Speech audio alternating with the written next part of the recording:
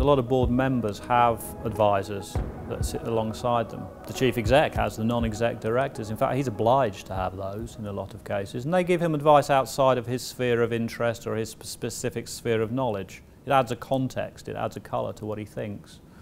The accountants, the finance directors, they have the auditors. Auditors aren't just there to check that he's doing his job right. They are actually there to make suggestions, to, to give advice to improve the way he behaves, to bring information and legislation to him as well so he doesn't have to keep up.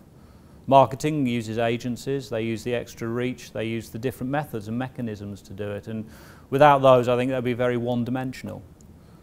And yet CIOs look around and they seem to think that, ah, external consultants, that's a bit of weakness, that means there's something I can't do, it's a failing on my part. But the CIO IO advisor acts in exactly the same way as those other advisors do. They are there to offer legislative guidance, they're there to do a lot of the reading the CIO doesn't have the time to do, to step back and add some colour and some context to what that CIO is doing they're as valuable as the others are. And I think it's time now that the CIOs recognise it actually it's a sign of strength.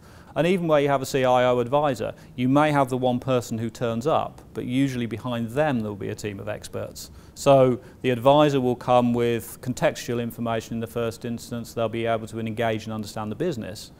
If there's a technological answer to it, they will then go back and engage the right experts, translate and bring it back to the CIOs. I think CIO advisors now are a real positive asset to most businesses.